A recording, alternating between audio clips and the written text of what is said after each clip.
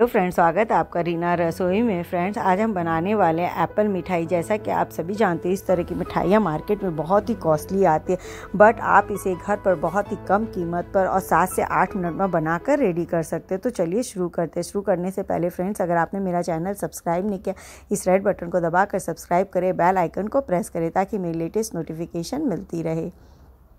यहाँ पे मैंने एक पैन लिया, पैन में मैंने एक छोटा चम्मच घी का डाला है और डालने के बाद उसको मेल्ट होने देंगे। मेल्ट होने के बाद मैंने यहाँ आधा कप दूध डाल दिया है। दूध को हम हल्का गर्म होने देंगे। उसके बाद मैं वन फोर्थ कप चीनी डाल रही हूँ। अब चीनी को भी हम अच्छे से मेल्ट होने देंगे। अब हमारी चीनी यहाँ पर मेल्ट हो चुकी है तो इसके अंदर मैं एक कप मिल्क पाउडर डालूँगी। और मिल्क पाउडर डालने के बाद फ्रेंड्स, इसे हमें कंटिन्यू मिक्स करना और गैस की फ्लेम को बिल्कुल लो कर देना अदरवाइज़ ये लग सकता है। और फ्रेंड्स, यहाँ पे एक बात ध्यान रखें कि इसमें बिल्कुल भी लम्स ना हो। आप देखोगे एक से दो मिनट के अंदर ही ये थिक हो हो जाएगा। अब यहाँ पे मैं वन फोर्थ टीस्पून इलायची पाउडर डाल रही हूँ और एक ड्रॉप केवल मैं येलो फ़ूड कलर डाल रही फ्रेंड्स इसे हमें पूरा येलो नहीं करना, एकदम लाइट रखना है और इलायची पाउडर का आपको टेस्ट नहीं पसंद तो आप उसे स्किप कर सकते हो। तो आप देखिए, ये बिल्कुल ठीक हो गया तो गैस को मैं बंद कर दूँगी और इसे एक प्लेट पे निकाल लूँगी और इसे हम हल्का ठंडा होने देंगे। जब हमारा ये लुकवार्म होगा, तभी हमें इसके लड्डू बनाने हैं। तो मैंने हाथ को चिकना कर लिया ताकि ये चिपके ना और इस तरह हम गोल गोल इसके बॉल्स बना लेंगे। अब हमारे सारे बॉल्स बनकर रेडी है। तो अब नेक्स्ट प्रोसेस की तरफ़ चलेंगे। मैंने दो से तीन बूंदे रेड कलर ले लिए और उसमें दो से तीन बूंदे ही दूध की डाली ताकि ये स्मूथ हो जाए। अब मैं ऊपर से अंगूठे की सहायता से हल्का सा प्रेस करूँगी और मैं ब्रश से इसको पेंट करूँगी। फ्रेंड्स, मैं आपको एक प्रोसेस और बताने वाली हूँ। अगर आपके ब्रश नहीं है तो आप डायरेक्ट हाथों से भी कर सकते हो।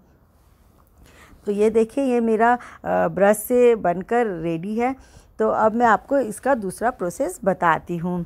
और फ्रेंड्स हमें इसे इस तरह रफली ही लगाना है। अब मैं हाथों की हथेलियों में इस तरह थोड़ा सा कलर लगा लेंगे और इसे थोड़ा सा जैसे प्रेस क्या करके और इस तरह हम घुमाएँगे। तो हमें कहीं कलर लगाना है, कहीं नहीं। जैसे कि एप्पल में भी आप देखते हो पूरी रेड नहीं होती है, उसमें हल्का हल्का येल्लो दिखता है। तो इस तरह आप बहुत ईजिली भी कर सकते हो। फ्रेंड्स अगर आप ये रेसिपी देख रहे हो और आपको पसंद आए तो प्लीज़ लाइक कर दे और कमेंट कर कर ज़रूर बताएँ कि आपको ये रेसिपी रेसिपी कैसी लगी? और एक बार ये रेसिपी आप ज़रूर ट्राई करें। और फ्रेंड्स, जब ये पूरी बन जाए तो एक बार ध्यान रखें, इसे बनने के बाद एयर टाइट डब्बों में ही रखें। अदरवाइज़ हवा लगकर मिठाइयाँ क्या होती, सूख जाती है। जब आप एयर टाइट डब्बों में रखोगे तो नहीं सूखेगी। अभी हमारी बनकर बिल्कुल रेडी है। तो मैंने यहाँ लौंग ले लिया। लौंग का जो ऊपर का फूल होता है, वो हटा देंगे और उसी साइड से हम इस तरह हमें लगा देना है।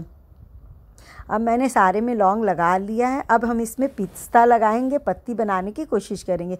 फ्रेंड्स, इसे हम मैंने काटने का प्रीवियस वीडियो में भी बताया था कि हमें पिस्ता कैसे काटना है ताकि वो फ्लैक्स जैसे निकले, इस तरह हम पिस्ता लगा देंगे। तो अब हमारा ये फ्रेंड्स खाने के लिए बिल्कुल रेडी है। आप ये रेसिपी एक बार घर पर ज़रूर ट्राई करें और कमेंट कर कर बताएँ कि आपको कैसी लगी। और लाइक करना बिल्कुल ना भूलें। रेसिपी देखने के लिए thank you. Thanks for watching.